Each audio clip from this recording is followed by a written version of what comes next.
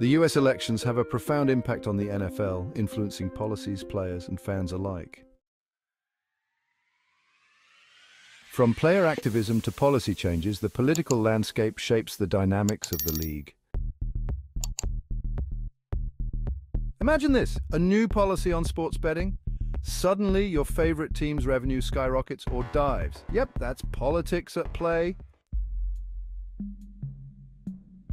Now, think labour laws. Changes here could mean higher player salaries or stricter contract rules. And that's not all. Broadcast rights? New regulations could alter who gets to stream your Sunday night game.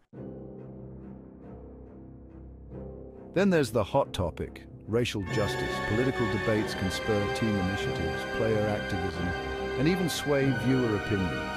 Remember when players took a knee? That wasn't just a game time decision. It was a political statement. So, the NFL keeps a close eye on election outcomes. They adapt their strategies to align with new laws and public sentiment.